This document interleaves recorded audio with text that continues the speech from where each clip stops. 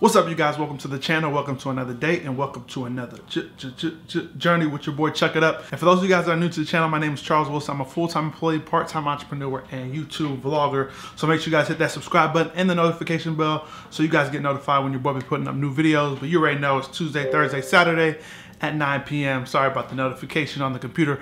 But anyways, let's get into this. I want to talk about I don't know, a lot of my videos I've been doing with like college and stuff like that. So I might as well just continue on that train.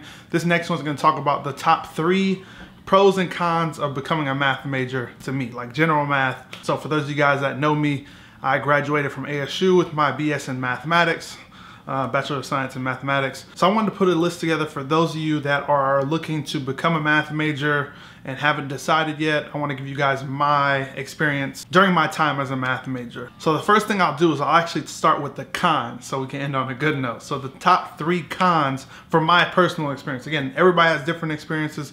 You know, on this channel, we're all about sharing experiences so you guys could, you know, see other perspectives. So the top three cons, number one is diversity. During my time as a math major, the, the courses that I took, majority of my classmates didn't look like me. There really wasn't much diversity, and if there was diversity, um, again, there was no one that really looked like me. So when there was time to get into groups, um, I always felt like, you know, the odd person out.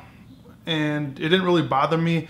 It's just kind of unfortunate. So usually when they say, hey, you know, let's get into groups. Everybody like got into their groups and like, you know, I'm sitting in the middle of the class. Everybody's like in groups around me. And usually I just kind of wait for the professor to kind of just assign me a group because, you know, once they say get into a group, you know, no one's showing eye contact or anything like that. So when they talked about getting into groups, I just felt like, you know, people's eyes were kind of like not going towards my way. They're kind of looking away, which is fine. I guess you work with the people that you work with. Um, even when the professor was talking about work with a new group, you know, wasn't really much people like looking to work with me.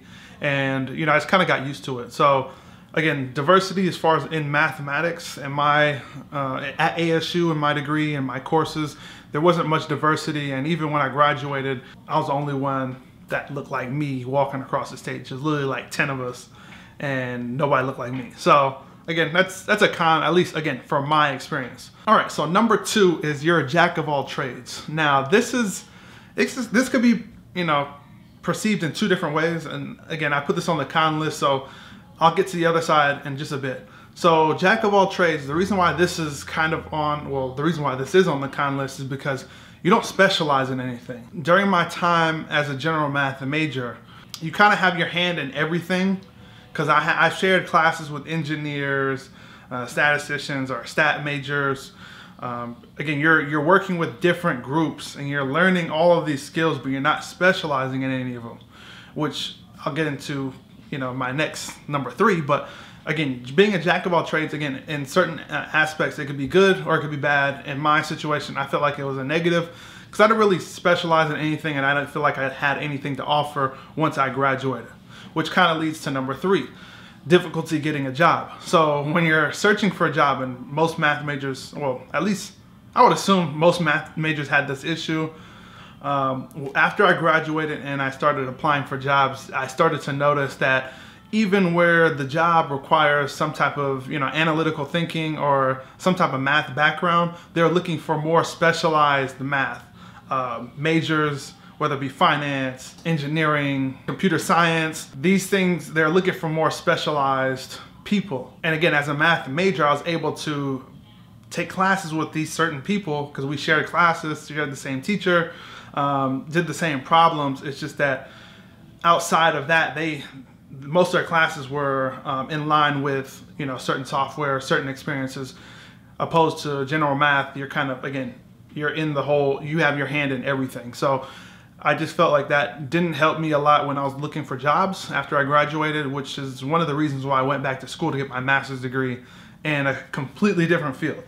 I don't want to make it seem like everything was bad about the math degree. So there were some positive experience that I took out of that and I'll start with, you know, number one, obviously. So jack of all trades. Again, I put that on the con list, but it's also on the pro list because when you're applying for jobs, there's different ways you can market yourself or um, you know, talk about yourself in the interviews to fit their kind of requirements. Now it's it's difficult because again they're looking for specialized and you got to convince them that you have enough experience with you know in that specialized field or you're comfortable learning it'll be easier for you to learn or you have experience xyz being a jack of all trades can work as a positive because again you could kind of fit yourself to an actual job description opposed to if you were very specific you couldn't go from engineer to finance or anything like that. Being a jack of all trades kind of helped me out as well in the job field, but not as much. Um, so it kind of balances each other out. So number two, the, the good thing about math majors or math, people with math degrees is that the perception is that you're smart. Now, not to say I'm stupid, it's just that as soon as you tell somebody that you're a math major or you have a math degree, their instant you know thought is that whoa this person is smart or good with numbers, which yes, you're good with numbers, but and the reason why I am saying this is because during my time as a math major, I really didn't feel like I learned a lot and I don't I didn't really apply a lot of what I learned in school to my job now. So one thing I do want to talk about that I used that I learned in my math degree is the logic. So a, a lot I took a lot of classes where it's theoretical math. I had to deal with a lot of logic, theorems and everything. Uh, when you're dealing with logic, that does apply to my um, everyday job. As far as when I'm doing formulas, you have to use logic to kind of create a formula or an algorithm. Um, so that was pretty helpful as far as like in the, getting my math degree. So number three, they actually did a study, and those that got a math degree, the skills that you learn throughout that, throughout those courses, they actually can further your studies. So they actually showed that those with a math degree performed a lot better on the LSAT and the GMAT um, compared to other majors. They also show that people with a math degree are better at handling basic life tasks. So I feel pretty good with that. Um, I guess I can concur with that. Um, but that, that, again, these are my experiences. Maybe you guys might have some. So for those of you guys that are math majors and want to pass some information or your experiences along to those that are looking to become math majors, feel free to hit the comment section below. I'd like to hear your guys' um, experiences.